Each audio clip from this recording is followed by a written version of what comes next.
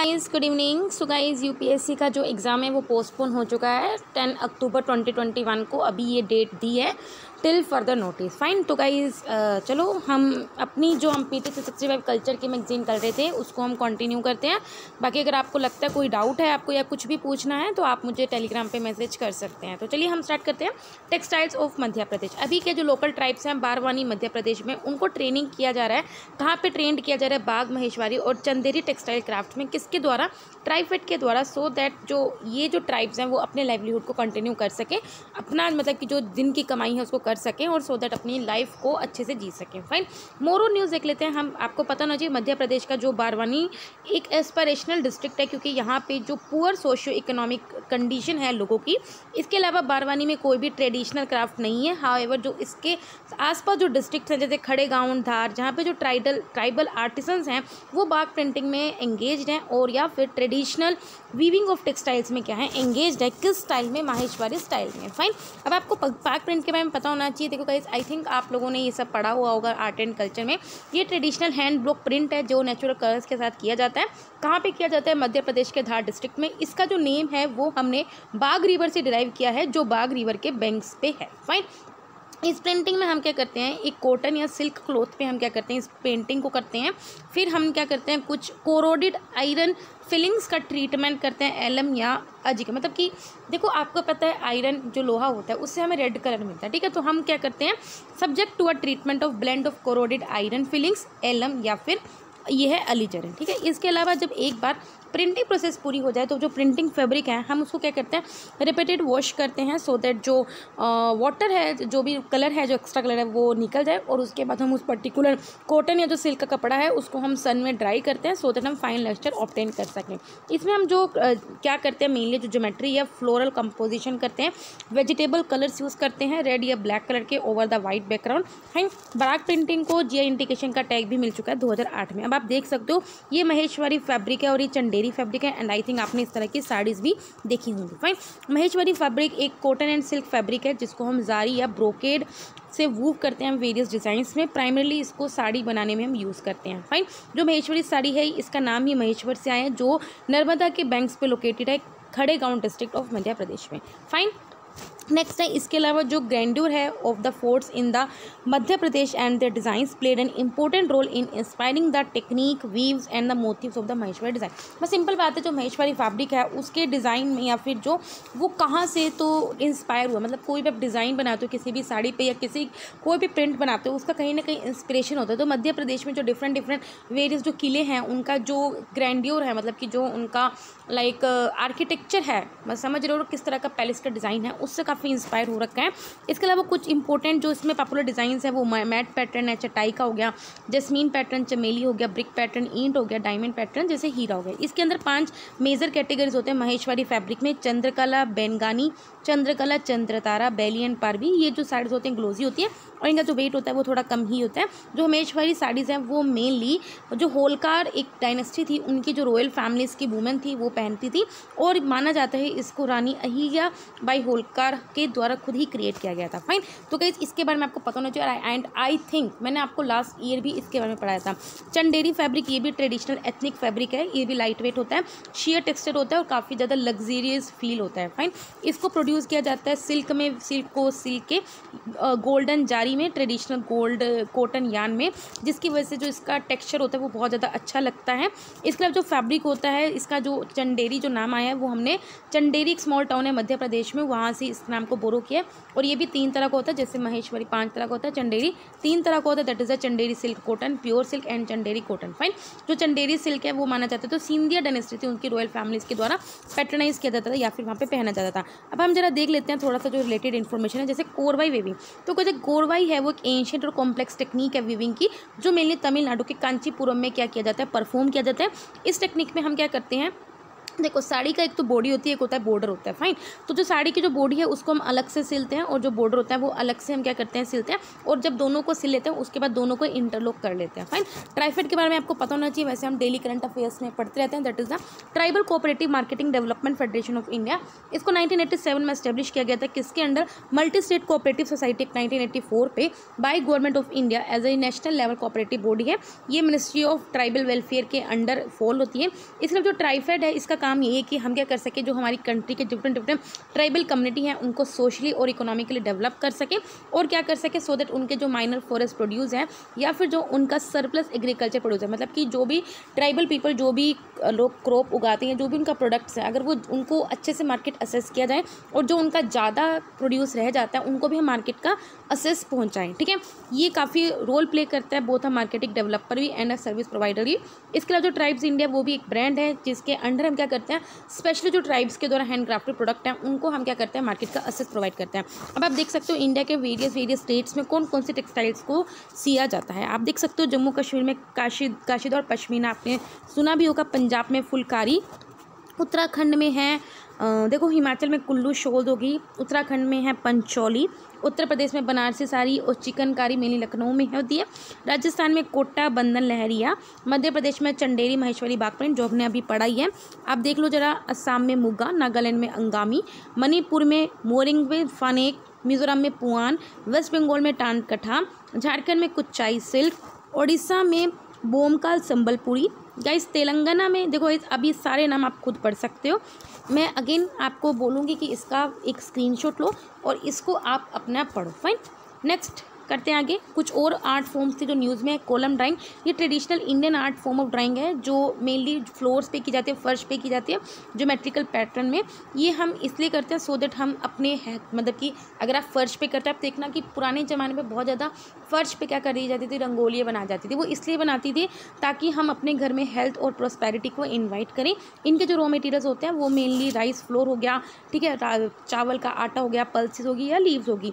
इसके अंदर कुछ मोटिव्स भी होते हैं, जैसे लोटस फ़िश बर्ड्स मतलब कि इसको आप डिज़ाइन कर सकते हो, जो ये रिफ्लेक्ट करते हैं it is the unity of man and beast आपको पता है, हम जो वेरियस एनिमल्स बनाते हैं, या वेरियस स्पीसीज बनाते हैं अपने डिज़ाइन में ड्राइंग में वो कुछ ना कुछ डिपिक्ट करते हैं, उसका डिफरेंट डिफरेंट मीनिंग्स होते हैं फाइन तो अगर हम लोटस फ़िश बर्ड्स ये डिज़ाइन कर रहे हैं तो इसका मतलब ये रिफ्लेक्ट कर रहे हैं दैट एनिमल और मैन ये दोनों एक तरह से यूनाइट है भाई मोस्टली जो इसमें डिज़ाइन होते हैं, वो सर्कुलर होते हैं, जो ये बताते हैं कि टाइम को भी ख़त्म नहीं होता है excludes a sense of endlessness of time sun moon and other judaic science भी इसके कॉमन थीम होते हैं। ठीक है तो कैसे आप कभी नोटिस करना, जो एशियन टाइम के जितने भी पेंटिंग्स होती हैं ड्राइंग्स होती हैं, उसका कहीं ना कहीं कुछ ना कुछ मीनिंग होता है, अगर उसमें जो भी वो बनाते हैं। फाइन नेक्स्ट है वर्ल्डली पेंट की महाराष्ट्र की है।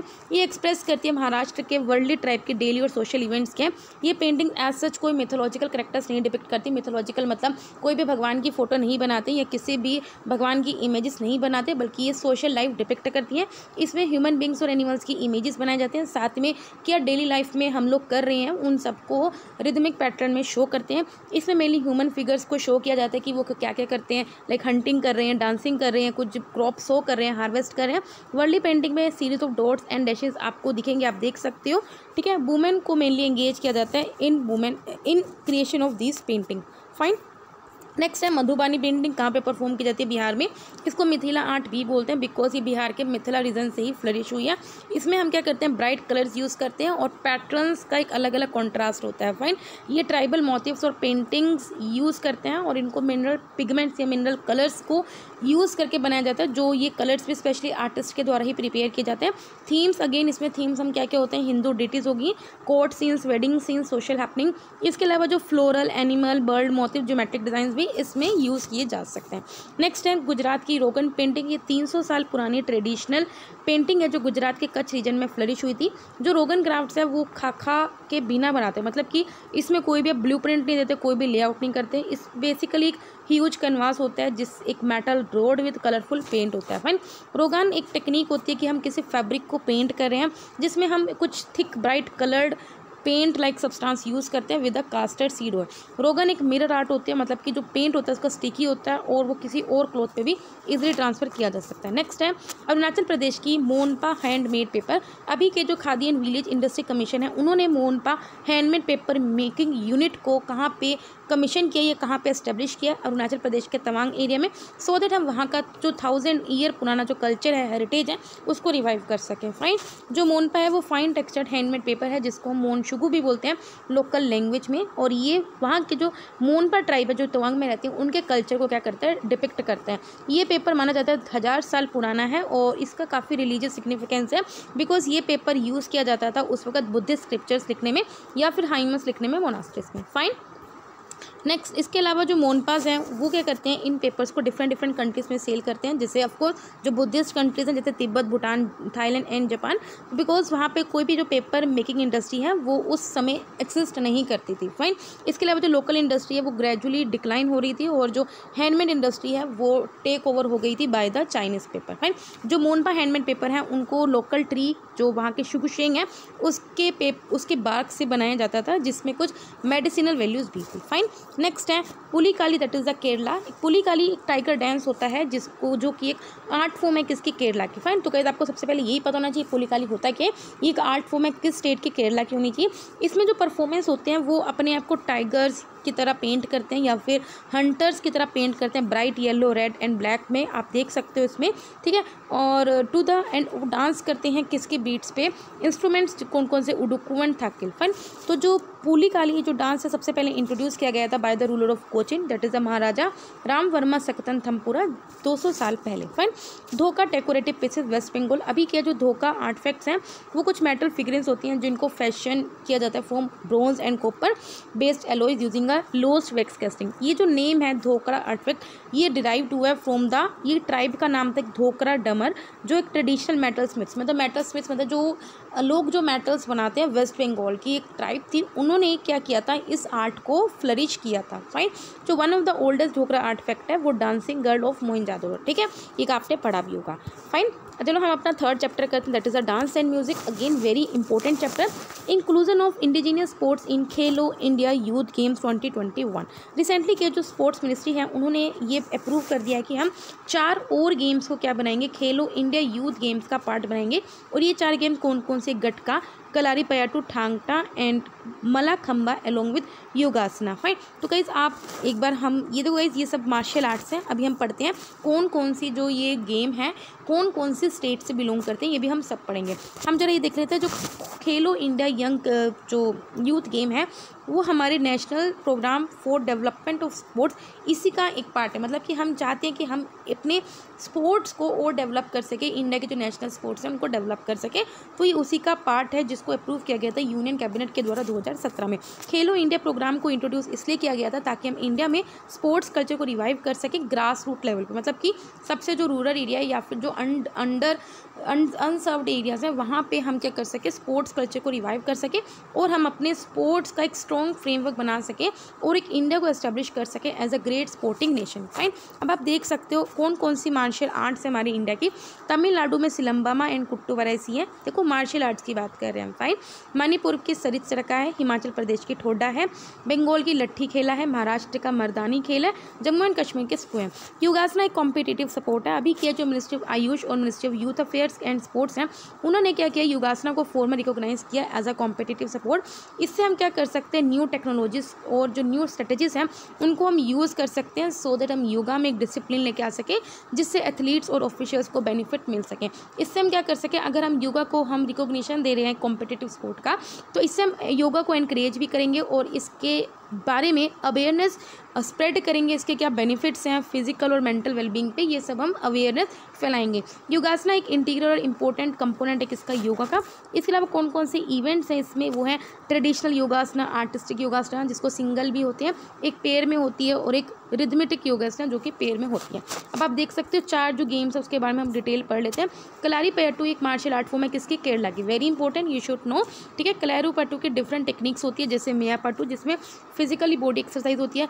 वदय पटू, इसमें आप लड़ते हो स्टिक्स को यूज़ करके, डंडे यूज़ करके, वल पैटू में आप स्योर्ट्स तलवारें यूज़ करके लड़ते हो, वेरूम करपटू में आप क्या करते हो, अपने सिंपल हाथों से लड़ते हो, ठीक है? बेरहन हाथों से लड़ते हो, ठीक है? इसके अलावा जो करारू पैटू की जो फोकस है, वो किस पे है? On specialisation in indigenous medicinal practice अभी के जो कलरी ट्रीटमेंट जो कि एक सिस्टम ऑफ़ मेडिसिन है, इसको पार्ट बनाया जा रहा है इसी करिकुलम का। नेक्स्ट है मलाकम्ब ये स्टेट स्पोर्ट है किसका? मध्य प्रदेश का। ये ट्रेडिशनल स्पोर्ट है इंडिया का, जिसमें जो जिमनास्ट है, वो क्या करता है? एरियल योगा परफॉर्म करता है। आप देख सकते हो कैसे पोल पे लटक के मतलब कि हवा में वो क्या कर रहा है, कुछ योगा आसन परफॉर्म कर रहा है या फिर रेसलिंग करता है हैंगिंग वुडन पोल्स पे, ठीक है, या फिर हैंगिंग रोप्स पे, ठीक है। इसके अलावा मलाखम्ब का भी डिफरेंट डिफरेंट टाइप्स होते हैं। जैसे मलाखम्ब केन पे कर रहे हैं, या फिर बिना किसी सपोर्ट के कर रहे हो, या पोल की सपोर्ट कर रहे हो, या हैंगिंग मलाखम्ब हो गया, या फिर रस्सी के सपोर्ट से कर रहे हो, ठीक है? जो मलाखम्बा का ओरिजिन है, वो बारहवीं सांचरू से है, और ये मैंशन है मना सुलास में, जो कि एक चालुक्य के द्वारा एक क्लासिक लिखा हुआ था ग्यारह सौ एडी में।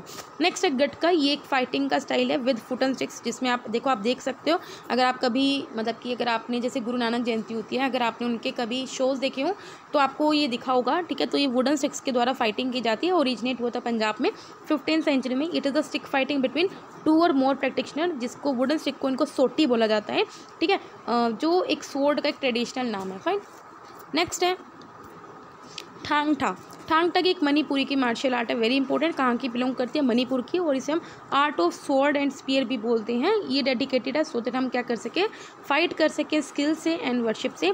इसमें एक्सटर्नल वेपन्स को इंटीग्रेट करता जाता है, जैसे स्वेड हो गया spear dagger etcetera with the internal practice of physical control जिसमें इन्वॉल्व होता है breathing methods meditation and rituals fine अब हम आगे बढ़ते हैं। कुछ और इम्पोर्टेंट न्यूज़ थी, जरा हम देखते हैं भवाई गुजरात। ये form of traditional street play है मतलब कि जैसे स्ट्रीट प्लेस होते हैं ना, उसी तरह का एक फॉर्म है, जो वेरियस विलेजेस में होते हैं, सौराष्ट्र और नॉर्थ गुजरात के।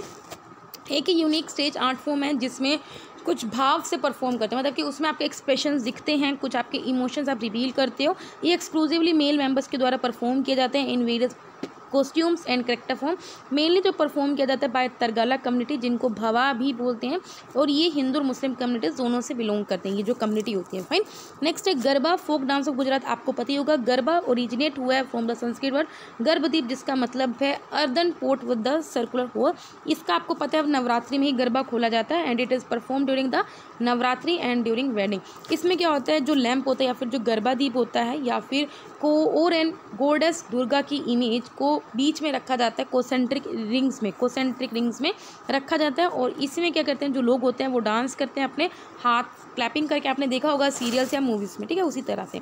नेक्स्ट है यक्ष गंगा कर्नाटक, ये ट्रेडिशनल इंडियन थिएटर फॉर्म है कर्नाटका की, जो किस पे बेस्ड है? मिथोलॉजिकल स्टोरीज है पुराना इस पे मिथोलॉजिकल जैसे महाभारत रामायण है, इन स्टोरीज पे बेस्ड है। मोस्टली जो इनके पॉपुलर एपिसोड्स हैं, वो महाभारत और रामायण है। इसमें क्या करते हैं, ये जब परफॉर्म करते हैं dance music dialogue costume makeup ये सब इंटीग्रेट करते हैं, ये सब कुछ इकट्ठे करते हैं यूनिक स्टाइल में फॉर्म में। यक्ष का मतलब होता है डेमी गोड और गंगा का मतलब होता है सॉन्ग्स ठीक है? तो इट इज़ बिलीव कि ओरिजिनेट हुआ था भक्ति मूवमेंट में in between eleventh and the fifteen century इसके अलावा फोर्थ चैप्टर भी स्टार्ट कर ही देते हैं guys languages and literature that is the Prabuddha Bharata journal अभी के रिसेंटली जो प्रबुदा भारत जर्नल है, उसने अभी one twenty fifth century celebrate की है. जो प्रबुदा भारत या फिर अवेकन इंडिया एक इंग्लिश लैंग्वेज मंथली जर्नल है किसका? रामाकृष्ण मिशन का. फाइन तो अब आपको पता हो गया चल के कि प्रबुदा भारत एक्चुअली में एक जर्नल है, जो किसमें है? इंग्लिश लैंग्वेज में और मंथली पब्लिश होता है। किसका रामाकृष्ण मिशन का है? इसको जर्नल को फाउंड आउट किया गया था 1896 में। किसके द्वारा? P Iyer Swami B R Rajam Iyer, G G Narasimhacharya and B V Kameswara Iyer. कहाँ पे मद्रास में इनको फाउंड आउट किया गया था? At the behest of Swami Vivekananda. ये longest running monthly English magazine है अपनी कंट्री मतलब कि आप देख रहे हो कितने साल पुरानी है। मतलब नियर अबाउट आप देख सकते हो एटीन से चल रही है। तो बहुत साल पुरानी है और ये सबसे ज़्यादा लॉन्गेस्ट रनिंग है।